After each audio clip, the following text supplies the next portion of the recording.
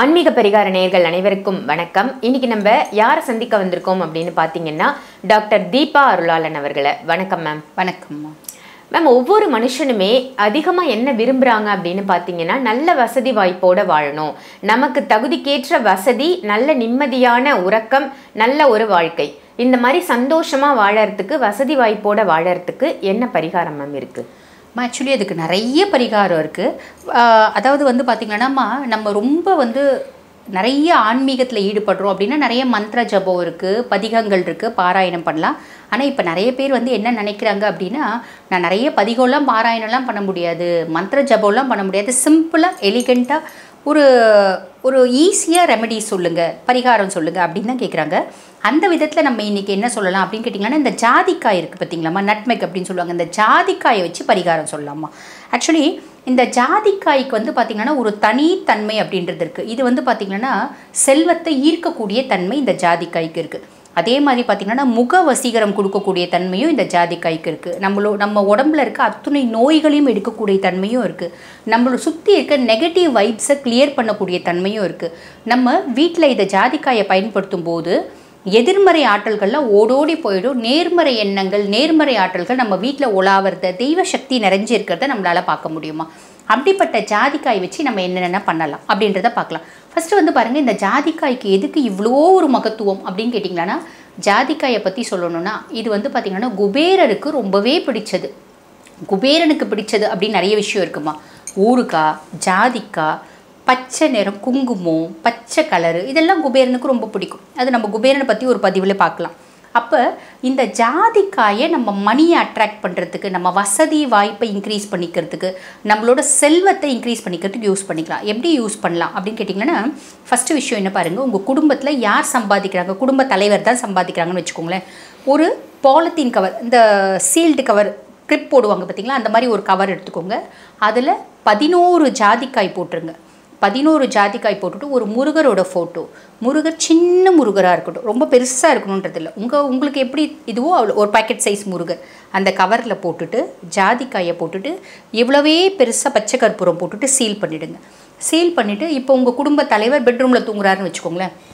அந்த பெட்ரூம்க்கு மேலே பெட்டில் வைக்கணுன்றதில்ல ஏன்னா முருகர் ஃபோட்டோ இருக்கிறதுனால பெட்ரூமில் ஏதாவது ஷெல்ஃப் இருக்குன்னா அங்கே வச்சுடுங்க. இப்போ நிறைய பேர் கேட்குறது உண்டு. மேடம் தீட்டு காலத்தில் அது வந்து பெட்ரூமில் இருக்கலாமா? இல்லை தாம்பத்திய நேரத்தில் அது பெட்ரூமில் இருக்கலாமா? அப்படின்னு கேட்குறது உண்டு. பொதுவாக வந்து பாருங்கள் பரிகாரத்துக்கு தீட்டு தாப்பத்தியம் அப்படின்றதுலாம் கிடையாது. இது நம்ம பரிகாரத்துக்காக செய்கிறோம் ஸோ அங்கே வச்சிடுங்க. இது வந்து பாருங்கள் எவ்வளோ நாள் கழித்து எடுக்கலாம்? ஒரு ஒரு மாதம் ஒன்றரை மாத காலகட்டத்தில் என்ன ஆகும்னா அந்த ஜாதிக்காயில் சும்மா அரிக்க ஆரம்பிக்கும். பூச்சி பிடிக்க ஆரம்பிக்கும். அந்த டைம் வந்து அதை எடுக்கணும் அப்படின்றது அர்த்தம். எடுத்து என்ன பண்ணணும்? ஓடுற தண்ணியில் விட்டுடணும்.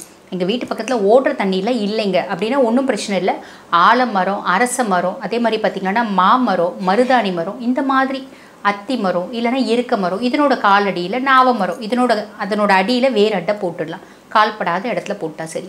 எடுத்துகிட்டு திருப்பி அந்த மாதிரி போட்டு அதே ப்ரொசீஜர் வைக்கணும். இது வைக்கிறதுனால என்ன பெனிஃபிட்டு ஃபஸ்ட்டு விஷயம் பாருங்கள் எந்த குடும்ப தலைவர் சம்பாதிக்கிறாங்களோ அவங்களுக்கு நம்ம இன்னும் நிறைய சம்பாதிக்கணும் உழைக்கணும் நம்ம ஹார்ட் ஒர்க் பண்ணணும் நம்ம லைஃப்பில் முன்னேறணும் அப்படின்ற உந்துதல் ஒன்று வருங்க. அதே மாதிரி நம்ம வந்து பாருங்கள் நம்மளுக்கு நேரம் சரியில்லை பெருசாக அதிர்ஷ்டம் இல்லை அப்படின்னு வச்சுக்கோங்களேன் நம்ம உந்துதலோட பயங்கர வேலை செய்வோம். ஆனால் அந்த வேலை வந்து பார்த்திங்கன்னா தடப்பட்டு தடப்பட்டு நிற்கும் ஓடாது. அது பிரேக் டவுன் ஆகிற வண்டி மாதிரி பெருசாக ஓடாது. அது வந்து பாருங்கள் பிரேக் டவுன் ஆகிற வண்டியாகவே இருந்துச்சுன்னா கூட குடுகுடுன்னு ஓட வைக்கிறதுக்கு இந்த மாதிரி பரிகாரங்கள் ஹெல்ப் பண்ணுங்க. ஸோ நம்மளோட அதிர்ஷ்டத்தை மேன்மைப்படுத்தி கொடுக்கும். நம்மளுக்கு குட் லக்கை கொடுக்கும் ப்ராஸ்பரிட்டியை கொடுக்கும். நம்ம செய்கிற வேலைக்கு ஒரு தூண்டுகோலாக இருக்கும். ஸோ இது ரெகுலராக செய்யுங்க. இது ஒரு ஃபஸ்ட்டு மெத்தடாலஜிங்க ரெண்டாவது மெத்தடாலஜி என்னென்னா குடும்பத்தில் வசதி வாய்ப்பெல்லாம் இருக்குங்க.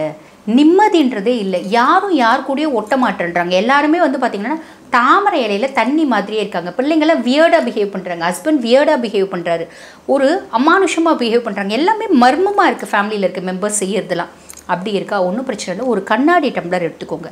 அதில் ஒரு ஜாதிக்காயை போட்டுருங்க. தண்ணி ஊற்றி நேராக பூஜை ரூமில் எடுத்து போய் வைங்க. வாரத்தில் ரெண்டு நாள் அதை மாற்றுங்க மாற்றும் போது பார்த்திங்கன்னா பசங்க வந்து என்னென்னலாம் பண்ணுறாங்க அவங்க தெரியாத செய்கிற விஷயம்லாம் அப்படியே நேரில் வந்துடும் அதே மாதிரி பார்த்திங்கன்னா குடும்பத்தில் ஒற்றுமை அப்படின்றது மேலோங்கும். நிறைய விஷயம் நம்மளுக்கு அவங்க மறைமுகமாக செய்கிற விஷயத்தெலாம் காமிச்சு கொடுத்துரும். ஓகேங்களா?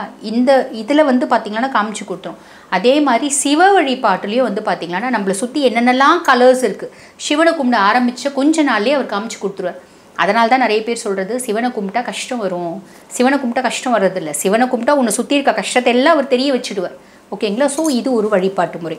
இன்னொரு வழிபாட்டு முறை இருக்குது என்ன அப்படின்னா குடும்பத்திலே பெருசாக நல்லது அப்படின்றதே எதுவும் நடக்கலைங்க. ரொம்ப கண் திருஷ்டி இருக்குது ஓம்பல் இருக்குது குடும்பத்தில் எப்போ பார் ஹெல்த் இஷ்யூஸ் இருக்குது பண வரம் பண வரவே இல்லை.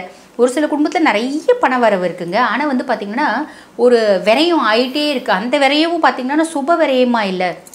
அந்த விரயம் வந்து பார்த்திங்கன்னா மருத்துவ ரீதியாகவே செலவு போயிட்டே இருக்குது ஹாஸ்பிட்டலுக்கே கொடுத்துட்ருக்கோம். அப்பப்போ ஹெல்த் இஷ்யூஸ் வருது அப்படின்ற மாதிரி நிறைய சொல்லுவாங்க. ஸோ இந்த மாதிரியெல்லாம் இருக்குன்னா உங்கள் குடும்பத்தில் மொத்தம் எத்தனை பேர்? இப்போ ஒரு அப்பா அம்மா ஒரு பையன் ஒரு பொண்ணுன்னு வச்சுக்கோங்களேன். நாலு பேருக்கு நாலு ஜாதிக்காய் எடுத்துக்கோங்க. நாலு ஜாதிக்காய் எடுத்து என்ன பண்ணுங்க? ஒரு ஒரு சின்ன உருளி மாதிரி வச்சுக்கோங்க. அந்த உருளியில் நாலு ஜாதிக்காய் போட்டு நாலு துண்டு பச்சை கற்பூரம் போட்டுருங்க. பச்சை கற்பூரம் போட்டு தண்ணி ஊற்றி அப்படியே ஹாலில் இல்லை எங்கன்னா வச்சிடுங்க. ஓகேங்களா? விக் வைக்க வைக்க வைக்க வைக்க. இது வாரத்துக்கு ஒரு நாள் மாற்றிடலாம் இது மாறும். இதே மாதிரி பாருங்கள் இந்த இதுக்கே இன்னொரு ப்ரொசீஜர் இருக்குது நாலு ஜாதிக்காய் நாலு பச்சை கற்பூரம் துண்டை ஒரு சிகப்பு கலர் துணியில் மூட்டை கட்டிடணும். மூட்டை கட்டிட்டு பெட்ரூமில் ஒரு மூட்டை ஹாலில் ஒரு மூட்டை கிச்சனில் ஒரு மூட்டை பூஜ் ரூமில் ஒரு மூட்டை. உங்கள் வீட்டில் எத்தனை ஸ்பேஸ் இருக்கோ எத்தனை ரூம்ஸ் இருக்கோ எல்லாத்துலேயும் ஒரு ஒரு மூட்டை வச்சிடணும். அந்த வைப்ஸ் என்ன பண்ணும் அப்படின்னு கேட்டிங்கன்னா உங்களோட நெகட்டிவ் வைப்ஸ் எல்லாம் அதை அட்ராக்ட் பண்ணும். மந்த்லி ஒன்ஸ் மாற்றிடுங்க நெகட்டிவ் வைப்ஸ் எல்லாம் அட்ராக்ட் பண்ணி உங்களுக்கு பாசிட்டிவ் வைப்ஸை கொடுக்கும். குடும்பத்தில் நல்லது சந்தோஷம் நிறைய வரும். அதே மாதிரி பார்த்திங்கன்னா வெளியே போகிறீங்க வெளியே போகிறீங்க போது ஒரு ஜாதிக்காயை உங்கள் பவுச் பர்ஸ் இருக்குது பார்த்தீங்களா பர்ஸில் எப்பயுமே போட்டு வைங்க. போகிற போகிற இடத்துல வேலை டக்குன்னு நடக்கும். நீங்கள் வந்து வியாபாரம் பண்ணுறீங்க கல்லால் நாலு ஜாதிக்காயை போட்டு வைங்க. வியாபாரம் ஓஹோன்னு நடக்கும். ஸோ இப்படி ஜாதிக்காய்க்கு மணியை ஜாதிக்காய் வசம்பு பச்சை கற்பூரம் ஏலக்காய் இதெல்லாம் வந்து பார்த்திங்கன்னா மணியை அட்ராக்ட் பண்ணக்கூடிய கெப்பாசிட்டி இருக்குங்க. இது குபேரனுக்கு ரொம்ப பிரீத்தியானது அப்படின்றதுனால உங்களுக்கு வந்து வருமானத்தை அதிகரிக்கும் காசை அட்ராக்ட் பண்ணும். இந்த மாதிரி சிம்பிள் ப்ரொசீஜர்ஸ் நீங்கள் செய்யுங்க.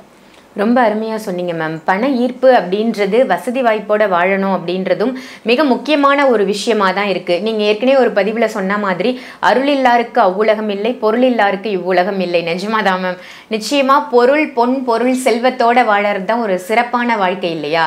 நல்ல ஒரு தகவல் கொடுத்தீங்க ஜாதிக்காயை வச்சு. நிச்சயமா எல்லாருமே இதை செய்து பயன்பெறணும் அப்படின்னு கேட்டுக்கிறேன். நன்றி மேம் நன்றி.